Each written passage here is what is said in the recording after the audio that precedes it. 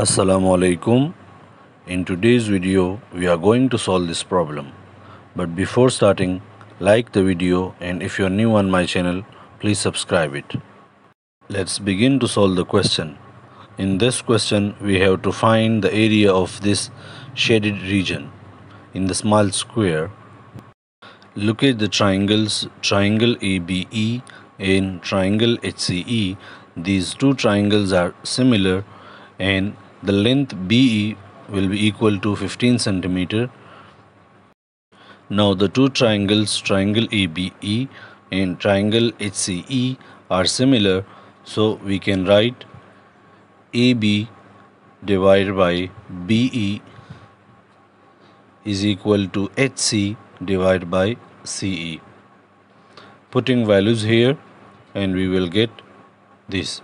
Simplify this and we will get x is equal to 10 by 3. Now we can calculate the shaded area which will be equal to area of the square GCEF minus area of the small triangle triangle HCE. So by putting values we can get this area of the square minus area of the small triangle. Simplify this and we will get 25 minus 25 by 3.